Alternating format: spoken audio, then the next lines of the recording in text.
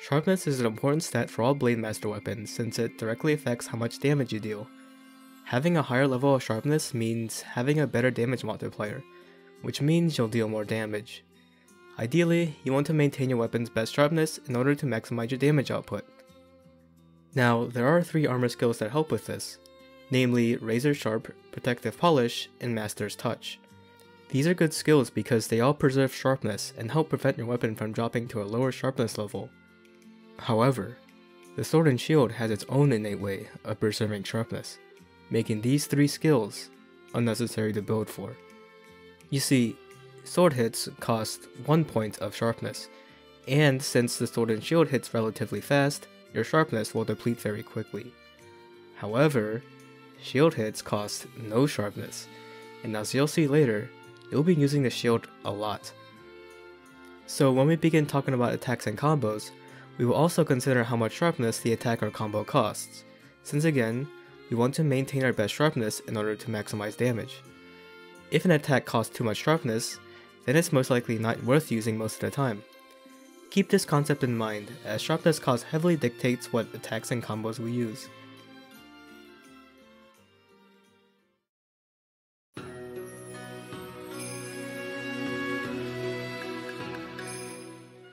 For the first lot, we can choose either the Hard Basher combo or the Drill Slash combo. Hard Basher is the default skill, and it's really good. It's 3 hits with the shield followed by Spinning Reaper, meaning that this combo only costs 1 sharpness. The shield hits also deal a decent amount of stun damage, which makes this great for KOing the monster. The downsides of the Hard Basher combo are that the shield hits do not deal any elemental or status damage, and it deals less damage than the Lateral Slash combo. However, the lateral slash combo costs 4 sharpness and deals no stun. Also, the lack of element or status in shield hits isn't a big issue since we can just pick a raw focus sword and shield instead. So I think the positives outweigh the negatives here. The alternative for the hard basher combo is the drill slash combo, which you unlock by crafting a bunch of unique sword and shields. I'm not sure what the exact number is since different sources say different things, but just keep crafting until Utsushi gives you the skill. Anyways, the drill slash combo is also good. It does about the same damage as the lateral slash combo, and it's great at dishing out a lot of elemental or status damage.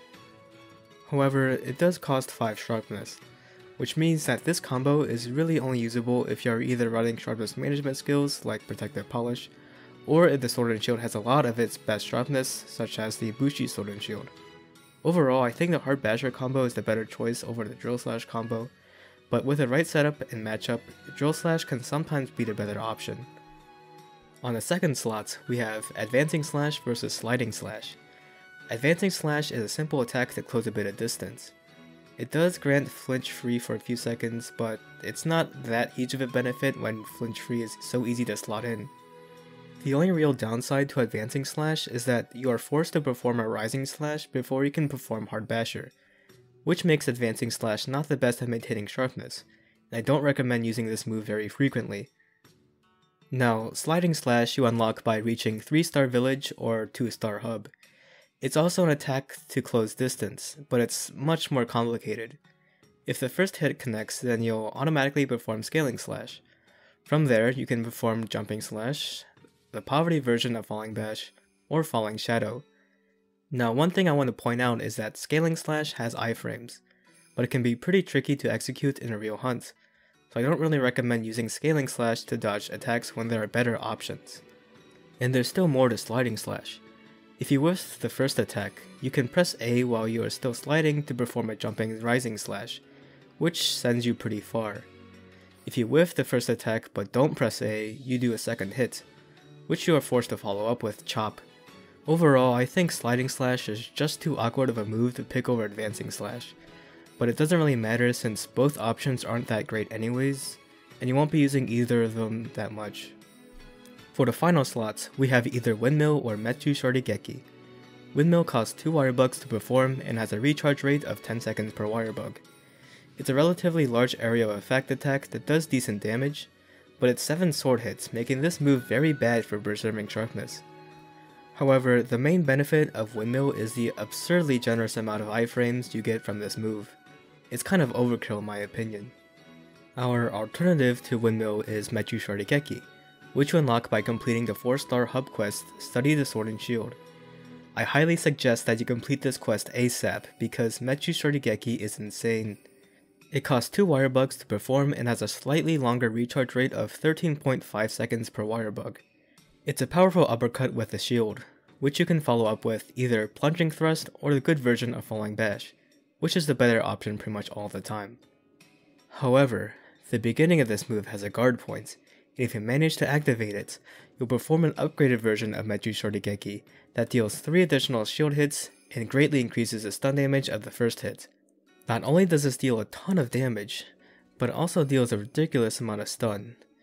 In fact, you can KO most monsters instantly simply by performing Metsu Shoryugeki on the initial roar. We'll talk more about this move later, but for now just know that this move is extremely good and there's absolutely no reason why you should choose Windmill over this.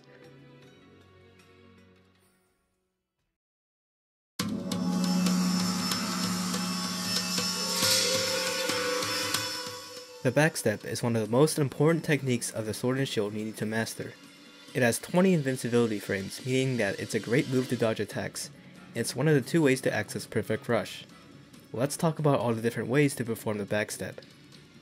The first way to perform backstep is to input back on the left stick and the A button after almost any attack.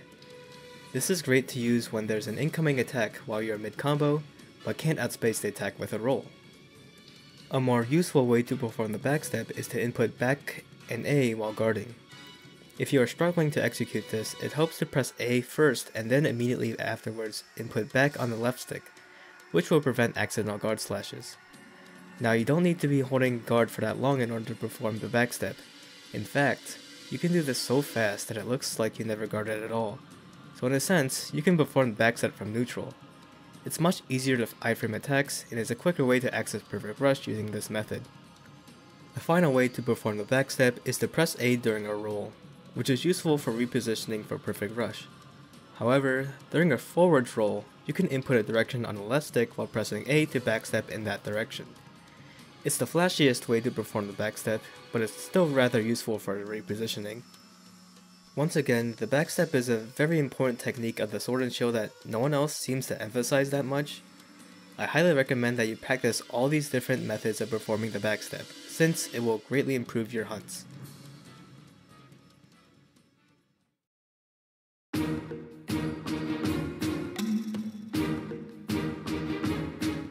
Every weapon has three different ways to unsheath, the sword and shield being no exception. Press X while the left stick is neutral to simply unsheath, which is really not that useful. Press X while holding a direction on the left stick to perform either advancing slash or sliding slash as a draw attack.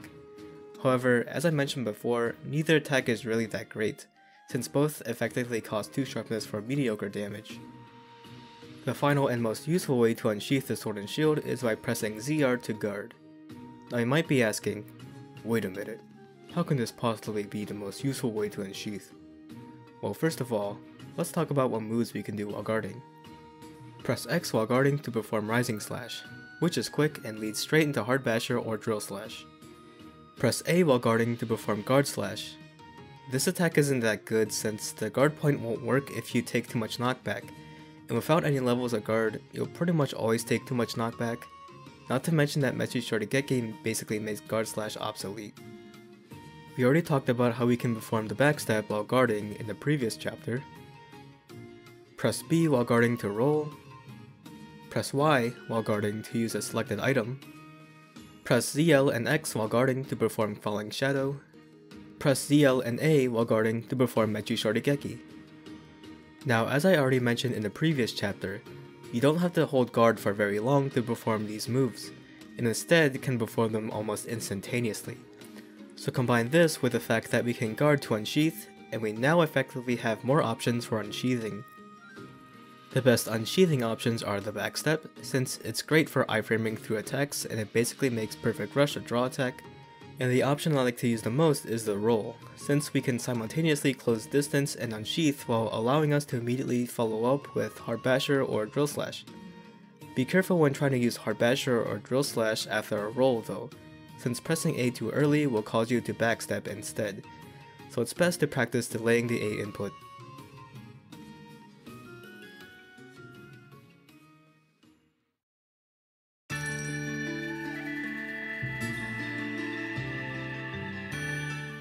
Falling Shadow costs 1 wire bug and recharges in about 6 seconds. If you land the first hits, then you'll automatically perform a scaling slash, from which you can follow up with the good version of Falling Bash. It's not bad, but it's really only meant for quickly approaching the monster from a great distance, not something you should spam. If you don't want to commit to the scaling slash, then you can stop your momentum quickly by performing a plunging thrust. The plunging thrust itself does decent damage, but it does cost 3 sharpness, so keep that in mind when considering landing this move or not. Now we already talked about how amazing Metsu Shoryugeki is. It's imperative to learn what monster attack you can counter, as you'll be greatly rewarded if you manage to land a powered up Shorigeki on the head of the monster.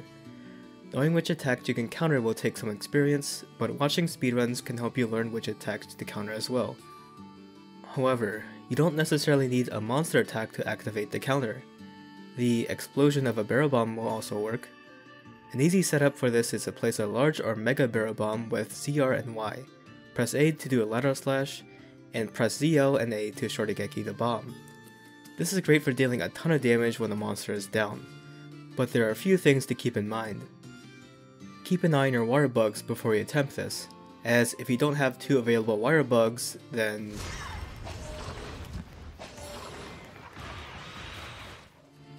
Yeah, make sure you have two wire bugs. If you're too far forward or aren't facing the right direction when attempting this, you most likely fail at countering the explosion. Sometimes the monster could simply push you out of position, but a less obvious way you can be too far forward involves the slope of a terrain. If you are facing upslope or sideways on the slope, you'll successfully counter the bomb just fine. However, if you are facing downslope, you'll likely fail and a slope can be as subtle as this. If you think you'll fail because of a downslope, then you can simply reposition yourself to be more behind the bomb before you try countering it. Now to make this technique even stronger, consider bringing the skill Bombardier to increase the barrel bomb damage. You can also eat for Dango Pyro to upgrade large barrel bombs to mega barrel bombs, which is great for people like me who don't feel like farming scatterfish.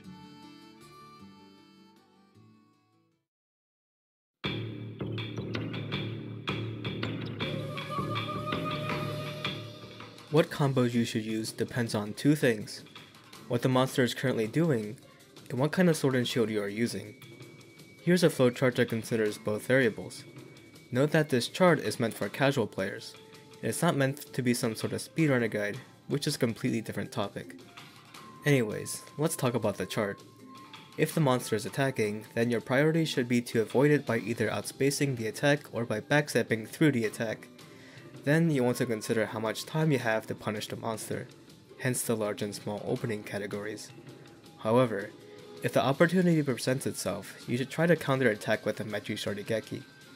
This is the same no matter what kind of sword and shield you are using. Now let's discuss the rightmost column first. If you're using an element or status sword and shield, then you'll want to use Drill Slash over Hard Basher. The Ibushi sword and shield and the High Ninja sword using Bludgeoner will also want to use Drill Slash, but in any case, you'll pretty much just want to spam Drill Slash as much as possible, since not only does it deal good raw damage, but it's also the best combo for dishing out elemental or status damage. Now if an opening is too short, then you may not want to go for Drill Slash because you'll likely overcommit and get hit.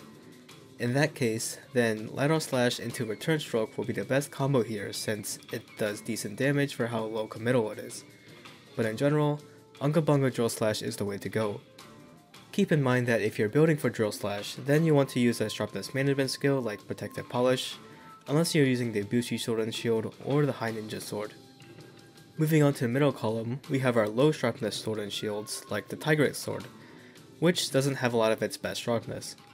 In this case, we want to spam Hard Basher almost exclusively. Nothing else is really worth it here because we don't want to use up too much sharpness that we don't really have and Hard Basher has the best damage to sharpness cost ratio outside of Metsu Shoryugeki, so Hard Basher spam it is.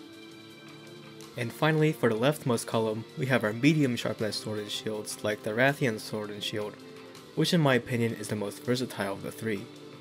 Like the low sharpness options, you can still spam Hard Basher, but if you do that, then you'll most likely have some sharpness to spare that you could have used for valuable sword hits. Now if you have a large opening, then Hard Basher is still the way to go here since the KO damage is always valuable, and even though we can afford more sword hits, using them up here isn't very optimal. However, if you have a small opening where you can't fit the entire Hard Basher combo, Lateral Slash Return Stroke will be better here since it deals more damage than the first two hits of Hard Basher. And finally, if the monster is down, you'll either use Hard Basher, Perfect Rush, or combination of both. Ideally, when you're using Perfect Rush, you want to use the X button finisher rather than the A button finisher, i.e. Spinning Reaper. But if you think you won't be able to connect with the X button finisher, then finish with the Spinning Reaper instead. Now the very last tip I have for you is how to infinitely loop Hard Basher or Drill Slash. One obvious method to do this is to roll out a Spinning Reaper and use Hard Bash or Drill Slash again. But another method to loop these combos is to perform a Rising Slash after the Spinning Reaper by pressing X while holding ZR. Then use Hard Basher or Drill Slash right after using Rising Slash. This method of looping these combos is best for damage, but because we are using Rising Slash, it will consume an extra point of sharpness, so for low sharpness sword and shields, you may want to consider the roll method of looping Hard Basher instead. That's all I have for you on this Sword and Shield tutorial. If you have any questions or if there's something I missed, feel free to leave a comment below. But in any case, thank you very much for watching, and I'll see you next time.